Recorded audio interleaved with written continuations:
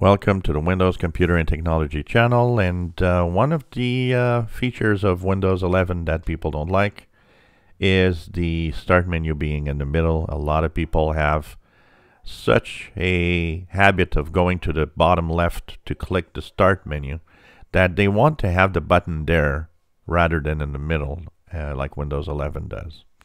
So basically you see here I have put it on the left side and there's a easy way to do that.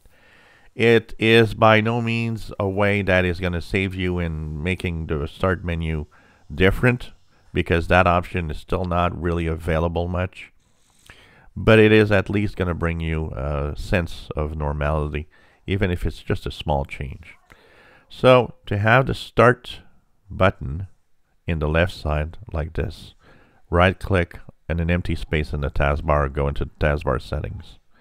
In here, you will want to go down to taskbar behavior. And here, the taskbar alignment will be left.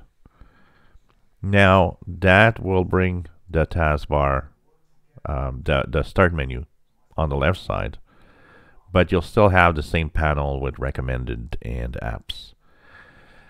In the next version uh, big feature update this fall, I expect that there's going to be a lot more possibilities to play around with the start menu, the taskbar settings, and also the way that you can see the app list and so on.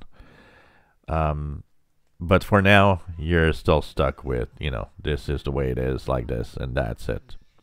And nothing much more you can do about it. So uh, that is the way it is. And uh, that's unfortunate, but it's, you know, the way that, that they made it is kind of incomplete if you want.